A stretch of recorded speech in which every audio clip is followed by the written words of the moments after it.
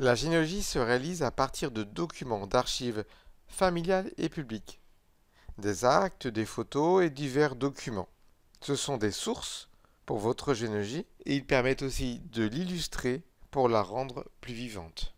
Donc voyons comment ajouter à chaque personne des images, c'est-à-dire actes, photos et documents. Pour cela, vous allez dans l'onglet Médias, ici, qui a été revu. Vous avez ici deux boutons pour ajouter soit des photos, des portraits, soit des actes et documents qui vont être ajoutés à un événement. Déjà, pour ajouter la photo d'une personne, vous cliquez donc sur le bouton Photo et Portrait. Vous choisissez soit depuis l'ordinateur, depuis webcam, un scanner ou depuis les réseaux sociaux par exemple. Donc on va prendre ici depuis l'ordinateur. Vous allez chercher l'image à l'endroit où elle se trouve. Je vais chercher ma photo et je vais prendre celle-ci, je clique sur ouvrir. Ma photo s'ajoute. La première photo qui est ajoutée, c'est celle qui va illustrer l'arbre généalogique. Je vais ajouter une seconde photo en cliquant ici sur photo et portrait depuis l'ordinateur et je vais chercher ma seconde image. Vous pouvez retoucher et éditer une photo pour indiquer une date, un lieu par exemple. Donc on clique dessus. Je clique sur l'icône ici et après retoucher l'image. Vous avez les outils par exemple pour faire des rotations si vous l'avez scanné à l'envers par exemple. On va ici recadrer sur le visage et je fais ici découper la sélection. Ensuite, ma photo est un peu sombre, donc par exemple dans Effet, Contraste et Lumière, je vais pouvoir augmenter la luminosité par exemple et un peu le contraste pour avoir une photo un peu plus claire. Je valide et je peux directement ici enregistrer.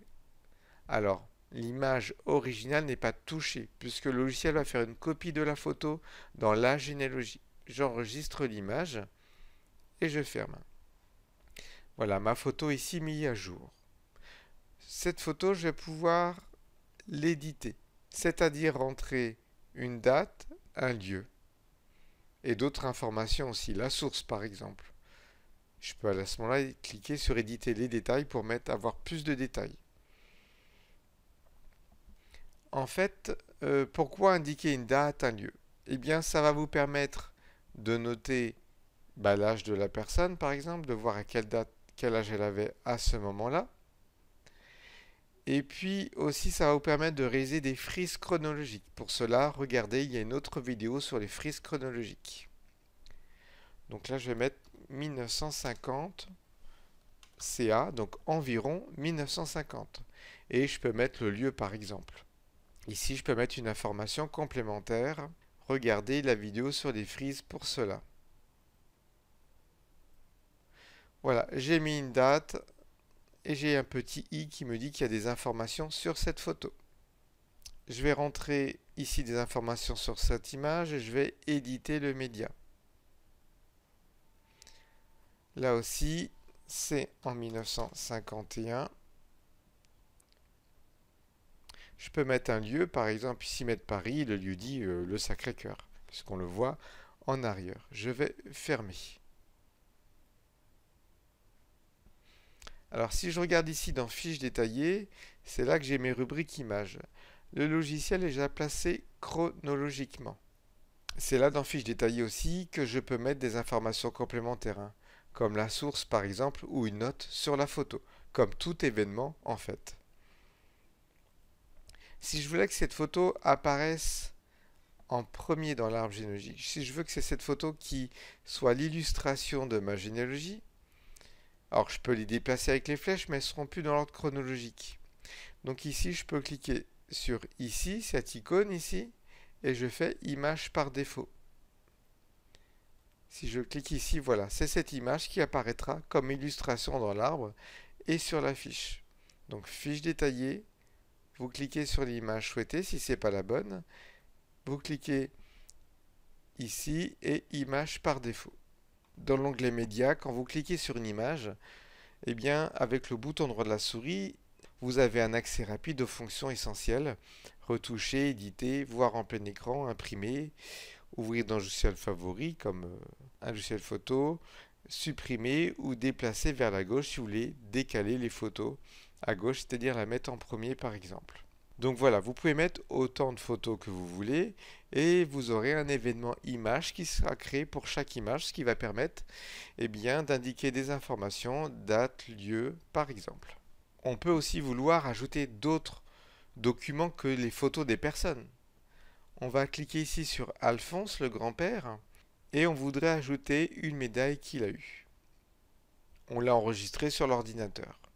Donc on va cliquer sur ici dans la partie événements actes et documents sur le plus depuis l'ordinateur et je vais chercher l'image qui m'intéresse. Je sélectionne ici la médaille militaire et j'ouvre. Il apparaît alors cet écran qui me demande à quel événement je veux associer cette image.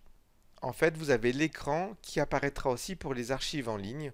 On l'a ajouté dans les médias pour vous faciliter l'ajout de documents depuis l'ordinateur. Donc je veux créer un événement, oui, c'est pas image, je vais prendre décoration. Je prends décoration ici.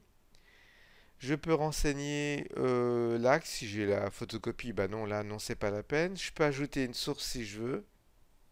Et ensuite, je vais faire enregistrer et éditer l'événement.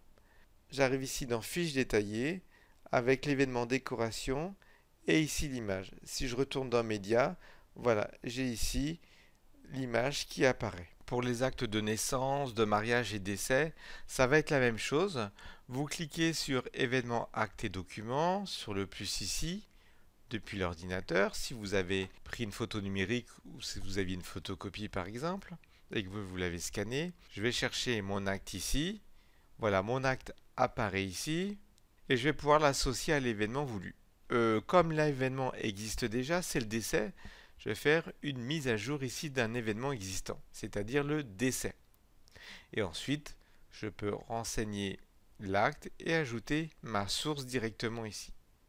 J'enregistre et j'édite le document, ce qui me permet d'arriver directement ici dans la partie fiche détaillée pour entrer d'autres informations si je ne les ai pas rentrées, comme les personnes citées et la source. Le logiciel vous permet d'accéder directement aux différentes archives et aussi à des bases de données en ligne.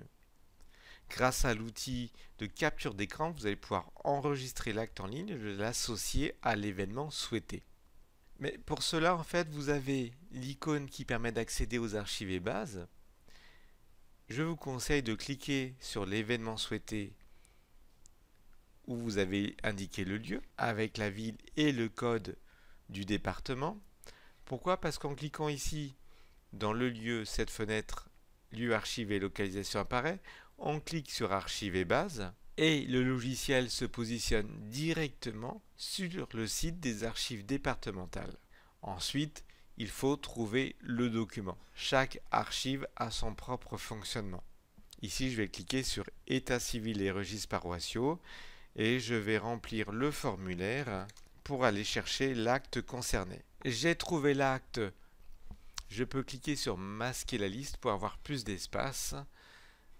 Et ici, eh bien, je vais pouvoir utiliser bah, les outils présents pour zoomer sur ma page et je vais essayer de mettre au maximum le document. Alors vous pourrez zoomer plus ou moins selon aussi la, taille de votre écran.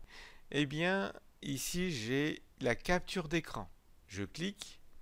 Qu'est-ce qui me demande? Archiver l'image ou enregistrer l'URL. Je vais faire archiver l'image. Mon curseur change, et eh bien je vais cliquer, maintenir le bouton gauche de la souris enfoncé et faire une zone autour de l'acte. N'oubliez pas, si on se trompe un petit peu, si on met plus grand, on pourra retoucher l'image. Une fois que j'ai fait ma zone, je déclique et il apparaît cette fenêtre pour archiver l'image. Donc j'ai aperçu de l'image enregistrée, où je vais l'enregistrer et le nom du fichier. Alors je ne veux pas créer un événement ici, je veux mettre à jour effectivement le décès. Ici je peux choisir le nom du, du fichier. Hein. Marie avec Marie, en 1901 par exemple. Et je peux d'ailleurs modifier ici le nom du fichier. Ensuite, je peux renseigner l'acte, mettre une source, renseigner l'acte ici, ben, P par exemple si j'ai la photocopie, si on ne veut pas on décoche, mettre une source, ici on peut mettre copie, et on peut mettre le détail, état civil de Plouénan, naissance de 1827, alors pourquoi mettre naissance de 1827 Parce que des fois, ça peut être une retranscription qui est faite plusieurs années après. Donc il faut mettre le registre, on le trouve. Naissance et on va mettre acte 42. Voilà, j'ai mis mon détail. Je vais enregistrer et éditer l'événement. Mon acte est associé directement ici au décès. Comme ça, j'ai tout sous la main. Si je me déplace avec ma généalogie, eh bien, j'ai mes dates, mes lieux et mes documents qui sont associés aux fiches. Donc dans cette vidéo, on a vu comment associer des actes, des images, des documents divers pour sourcer votre généalogie et pour aussi l'illustrer.